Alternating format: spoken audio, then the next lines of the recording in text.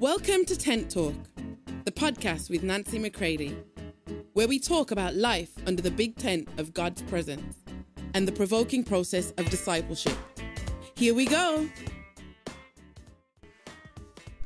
Hey, everybody, welcome to Tent Talk. This is Nancy McCready. Another fresh episode today 13 Days and Ways. One of God's ways that I am being deeply reminded of is that He brings to your remembrance the words that He has already spoken. Will you say yes to them as He brings them to your remembrance? Say no to the words filled with shame and defilement. Say yes to the word that God has written over you and the word that He wants to accomplish in you for your generation for why you live at this particular moment, in the particular place, and with the particular people that you are. And then let Him take you into the future as you pass the tests that are happening presently right now. Say yes to Him. Love you all. 13 days and ways as we continue to move towards 2024. In the previous episode, I talked about how the enemy comes with oftentimes such a vileness and such a depth of trying to revisit and to smear you again with shame. The words of defectiveness, the words of defilement, maybe from your past.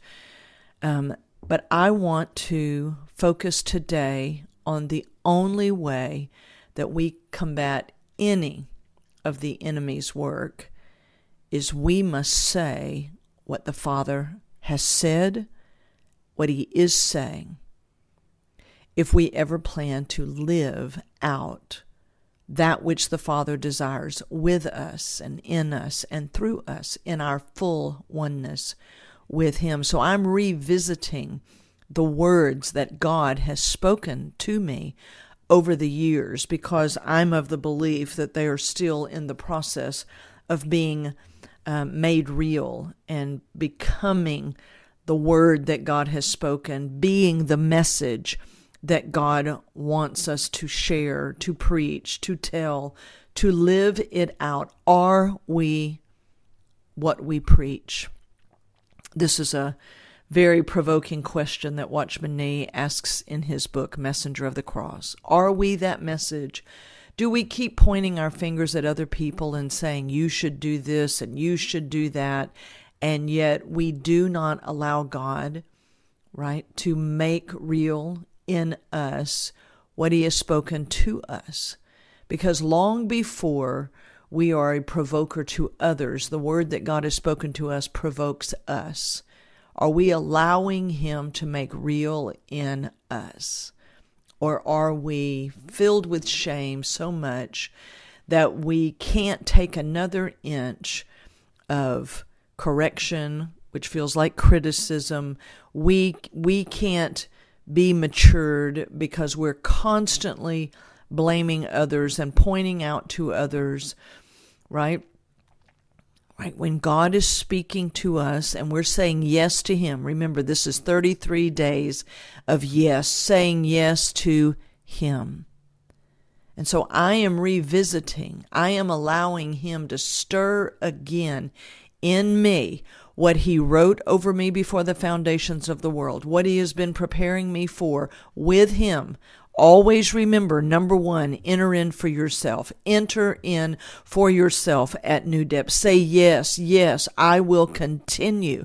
I will abide. I will remain with you and continue to enter in for myself.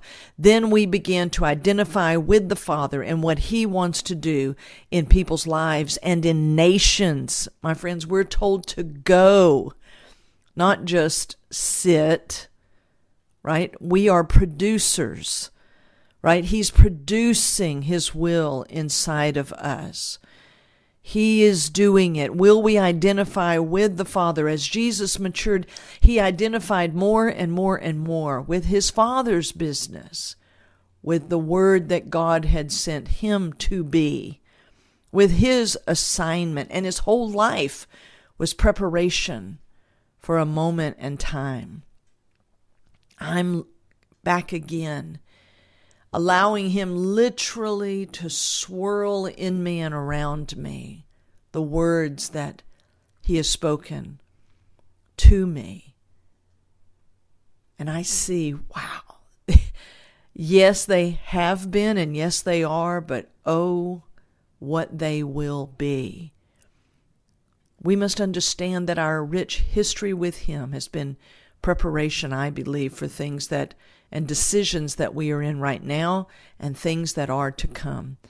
Whether you are 75, 82, 55, 25, 15, whatever the age, stay with Him in this.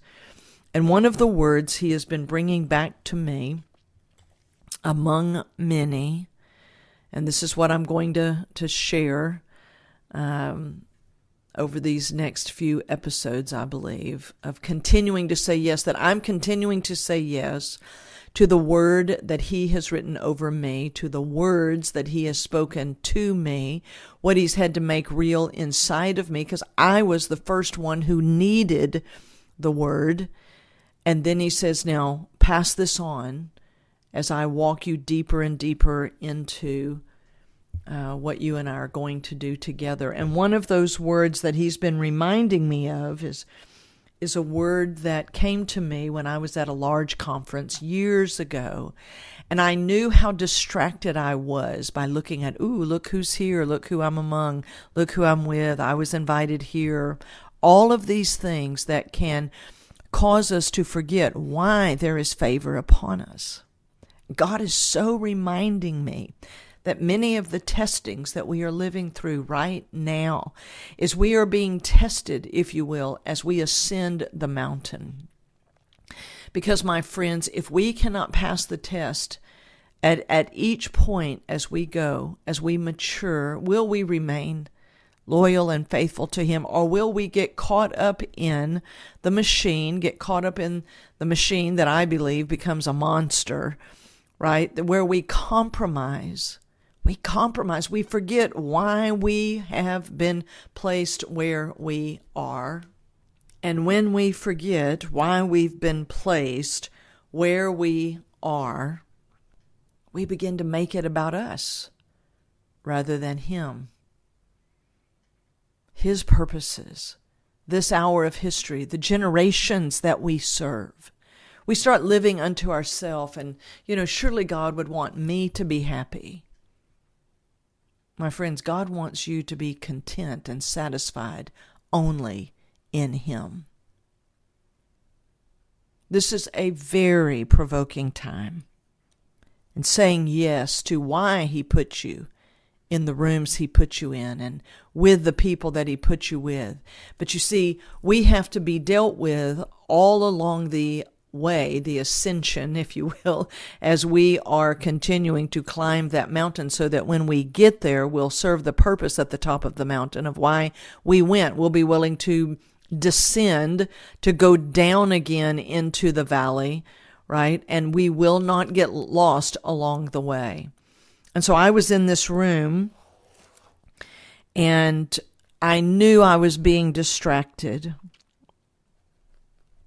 I knew how I had been so deeply distracted and allowed such defilement to come in in seasons past. And God was giving me opportunity to come into this place with Him and now to be able to go with Him and be sent by Him. All these things that we say, but they must have their practical preparation, their practical living out. And so to combat that, the only thing I knew to do was that I was like, Lord, I, I walked up to the, the, the platform where people were worshiping and, and all, and I got right in front of one of these very large speakers. And so the worship music and all was coming out so much so it was I could feel almost the vibration of it. But I stood there because I was like, I don't want to be distracted by these other things. Father, I am here for you. And as I was there, I had a, an experience, a vision, whatever you might want to call it, uh, that was very, very real. And when I opened my eyes, I could see the feet of Jesus. And there was a scepter that was being extended to me, an authority. And I was a little bit shaken, to say the least. But this is the word that I heard him speak to me as he as he extended that scepter of authority to me. See, my friends, I'm sharing this because many times we forget things along the way. Isn't that amazing that we can forget visions of God with God when he speaks. And it's it's not that I've forgotten it and that I've never thought of it again since then. I have. But in this season what I'm saying to you is that he's bringing back many things that he has spoken to me and I'm going to assume he's bringing back many things that he's spoken to you. Because in the midst of shame filled words that try to come and cancel out what God has spoken to make you feel so smeared with dung, so full of shame that that you would quit, that you would walk off, that you would seek your happiness somewhere else with someone else, that you would stop the assignment, that you would shut down, that you would walk off. Right? I'm saying to you in those moments comes a gripping by Holy Spirit within and he says, "Remember what I have said." And what he said to me in that moment was as you worship, you will rule.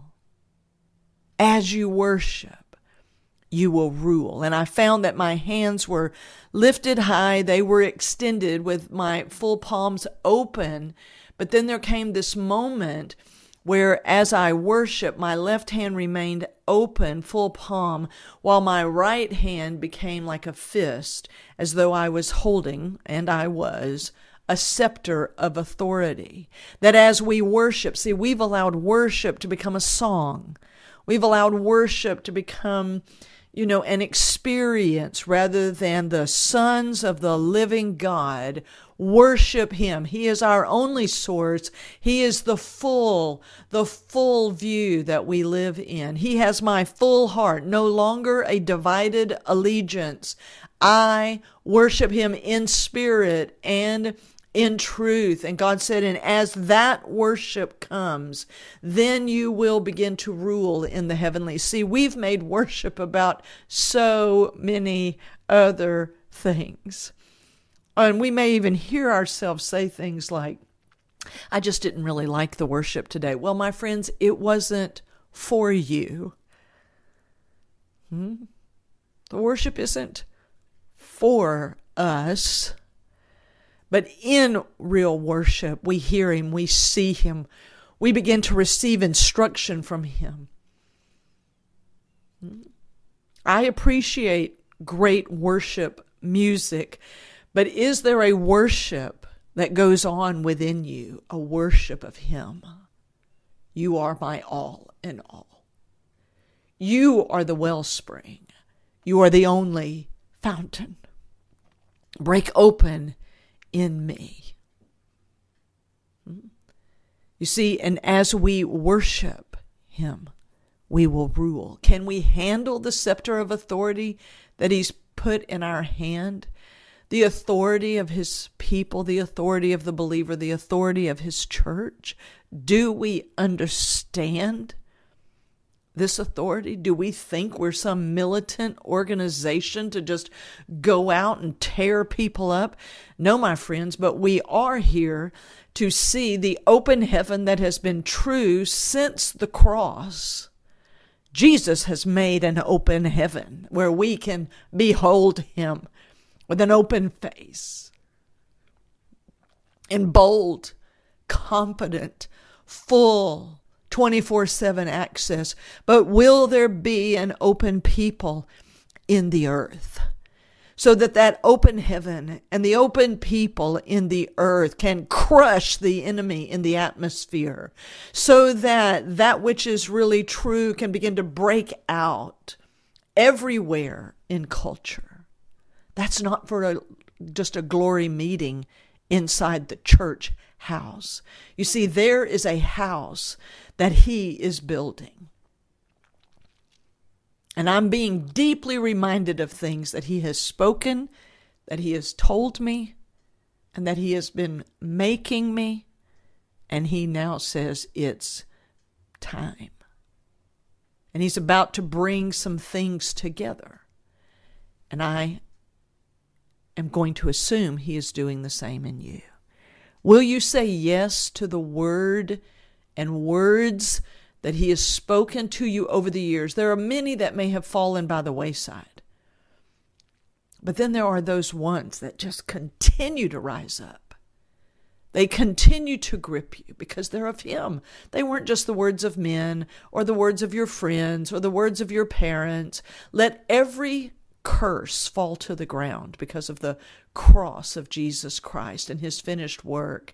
And let every word of the Father rise up in you today and grip you. And you say, Yes, Father. Yes to what you have spoken. Yes. Say yes to him, my friends. And be encouraged today, you see, because we can't forget why We've been placed where we are, with whom we are, and the connections that are to come. You see, this happened with Esther. She was prepared. She was positioned by Mordecai. There is no Esther without Mordecai. Hmm? She got up in that palace in all her beauty and somewhat forgot why she was there. And Mordecai's voice said, Remember right? Remember why you have come into the kingdom. It's for such a time as this. It's actually inside a rebuke. These famous words that oftentimes we make so full of flowers and, you know, it's like it was inside a rebuke. Because he said, if you don't live out, basically, live out the reason why you are there, you perish with us. This was about the survival of the people of God. She was positioned to expose the enemy and to bring him down so that her people could fight, right? So that they might prevail. My friends, we cannot forget why we put in been put into places and relationship connections. There is a favor upon us, and we need to remember why. We go in on the behalf of God before kings and nations. So there you have it for today. And I pray the next episodes will stir you. Say yes to the words He has written over you, and say hell no to the words of shame and defilement that have come and that continue to whisper. And do not dare think that anything of hell and flesh and sin and the demonic has anything to do with you. By the work of Christ on the cross, by what he has done. You have been severed forever from hell. Now live like it and say yes to the Father. I love you all. For more information on Nancy, please visit nancymccready.com or follow her on social media at nbmccready.